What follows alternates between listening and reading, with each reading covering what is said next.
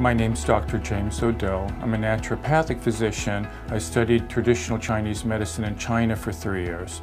Uh, during the early 90s, I went to Europe and studied biological medicine in Switzerland and Germany, and that's where I became familiar with contact regulation thermography. Contact regulation thermography is a diagnostic based on thermoregulation. Thermoregulation is simply the body's ability to thermoregulate or to control its temperature. CRT is a way, a functional way, of measuring points on the body, 119 points that overlie organs, glands, and tissues. It's non-invasive, doesn't involve any radiation, and it's very safe. So what we're looking at is the change in organs, glands, and tissues when they're exposed to a cold challenge. So we measure the points, and then we expose the person to a cold challenge, and then we measure these points a second time. This gives us information about the underlying organ, gland, or tissue's functionality. This is an example of a CRT graphic. Here we have in the top part with the computer analysis of the graphic. And we have the the actual graphic below. I mentioned this is a two-part measurement. Here we have the first part is before the cold challenge, that's the little black line, and the second part is the red line, that's after a 10 minute cold challenge.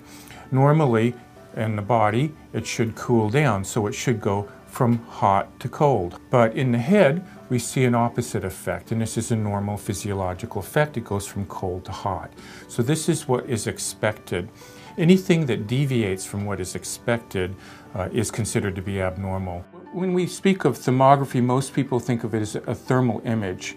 Uh, well, thermal imaging has been developed by the military back in, in World War II days, uh, where they tracked the night movements of, of troops. It later became involved in the world of medicine, where we take a picture uh, of the body with a thermal image. This is a very useful technique also, but it's quite different than what we're doing with contact thermography. Contact thermography is much more precise. We're able to assess over 20 organs, glands, and tissues with this very precise measurement.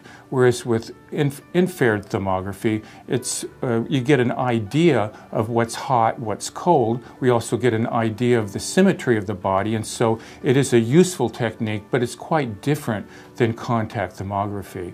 It's really a, uh, a technique that diagnoses more than 20 organs, glands, and tissues. So you're looking at the sinuses, the brain, the thyroid, the thymus, the heart, lungs, uh, liver, gallbladder, pancreas, gastrointestinal system, which includes the stomach, the, the small intestine, and the large intestine, the lymphatics, uh, particularly pelvic lymphatics, and in the female, the ovaries and uterus, and the male, the prostate, kidneys, and dental, all of the points on for the teeth, and the breast.